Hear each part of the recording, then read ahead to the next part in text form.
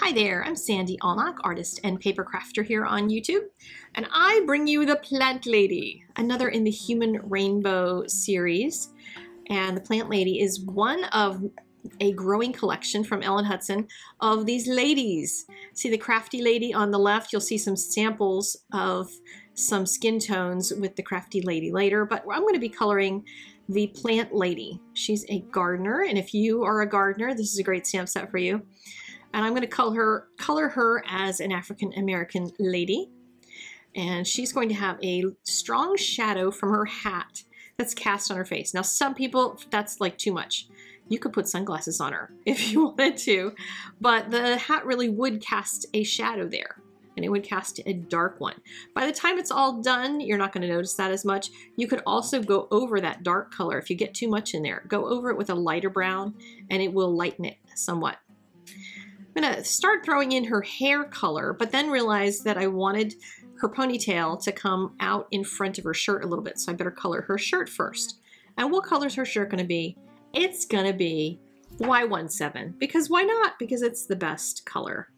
So I'm going to just throw some color in here, and then I was playing around with colors for the shadows. I like using a V04 for the shadow, but I then started trying to blend it after that. Um, once I got all these shadows in and I ran into some struggles. So I'm going to let you see the struggles because that's the way life goes. For some reason, the blending wasn't working. It was staying really wet. I was trying to fix it with a couple different yellows, went back with my Y17. Did not like any of that and I said, you know, to heck with it. I'm throwing in a little YR04 and then cleaned it up a little bit. So sometimes you just got to scribble over things until they work right. If it gets too crazy, then you can always just let it dry first and then go back and work in it because it might start bleeding. For her hair, I wanted her, like I said, to have bushier hair that's going to travel a little bit over top of her shirt. So I'm just drawing scribbles with my black marker and letting her hair be all kind of curly and cute.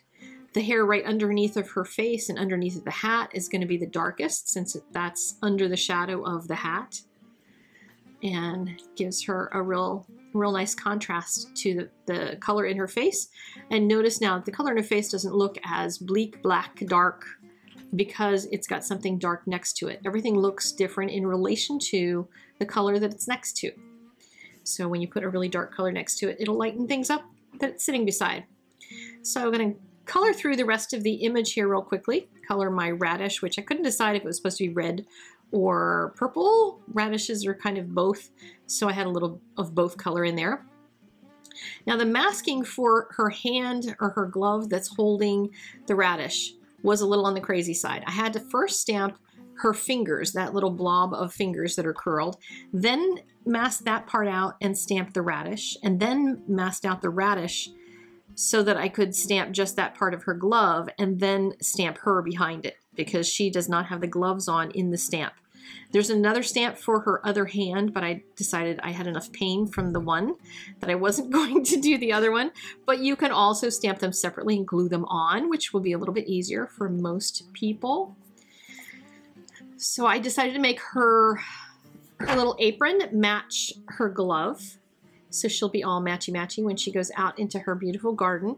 I'm using my favorite YGs, which are the YG9s. They're very natural, kind of calm sort of green rather than a really intense bright green because it's going to leave me the ability to make the radish greens a little brighter if I do that.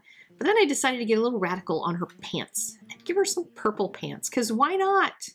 She's in the garden. I don't know about you, but I wear funky clothes when I'm in the garden. I don't really care if I mow the grass and my clothes match. Maybe my neighbors look at me weird, and if any of my neighbors are watching, tough luck if you think I'm weird. But I wear whatever I'm wearing. I have been known to go out in my slippers in the backyard. I try not to go to the mailbox because we do have folks in the neighborhood that go to the mailbox in their house dresses, and I do find that a little bit odd. But in my backyard, I get to wear whatever mismatched nonsense that I feel like wearing. So I'm going to just finish up the coloring on this. I was trying to decide what to do with her for the rest of it.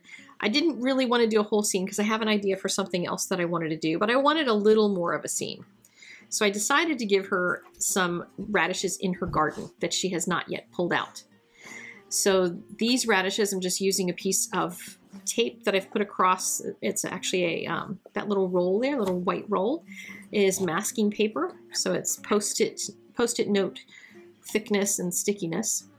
And put that across so I could just real quickly stamp the greens of the radishes. I'm going to use the same colors on the green tops that I did on the, the first one so that it'll be clear that all of that is matchy-matchy when you look at the card. And then just throw in the blending colors and it's not super important to get that portion all perfect because the important part is her. That's what people are going to be looking at.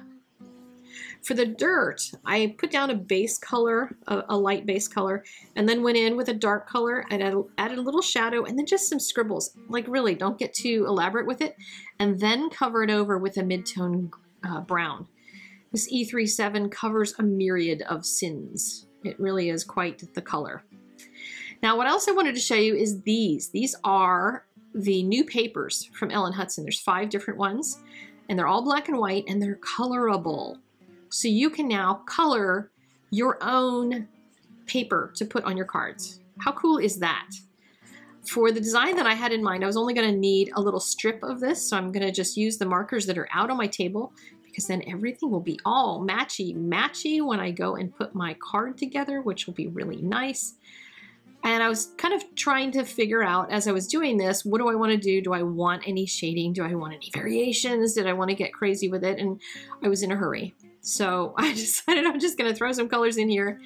And I wasn't real careful with them. I was going out of the lines because I wanted to put a color in between. So I took a brown and started just coloring in between all of the different little squarey things there. And I'm only doing that strip because that way I can put the rest of this back in my stash and color it with something else to match the next card that I need some pattern paper for. I kind of like the idea of being able to make your own pattern paper because then we can always be matchy-matchy because I'm terrible at matching. Uh, the same reason that I do mismatch clothes out in the backyard. I used to have friends that I worked with that would say, you know, that, that blue shirt you're wearing doesn't really go with those blue pants. And I just didn't care enough. I'm not a fashionista. So yeah, it's nice to know that I can make the match just by using the same markers. So I was playing around with doing a little two-tone in some of these squares, and I'm not really sure that it's actually going to matter on the card, but it was fun to just goof around, put little flick marks on some of them and give them a little more dimension and that kind of thing. And then try to clean up some of the ones that didn't work as well, just go over top of them with some quick color.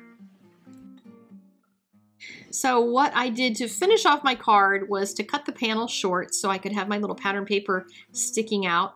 And then I punched a circle and stamped the sentiment on it and just threw some browns in the dirt portion. And the little shovel, I just didn't stamp the tip of it so it looked like it was in the dirt. And my panel with the girl on it is popped and then the sentiment is popped on top of that. So I got some really nice dimension, got some fun pattern going on down that side and it was just a really fun card to make. Now on my blog, there is a still picture of this thing that I did. I didn't film it, sorry about that, but I was doing a little playing around with the Crafty Lady stamp set. And if you want to pick up those colors, because I was experimenting with some on a few of those, just to see if I could come up with some new human rainbow colors. Thank you so much for joining me. Click that like button, subscribe if you haven't yet watch another video, share this with your friends, and I will see you guys next time. Have a really awesome day.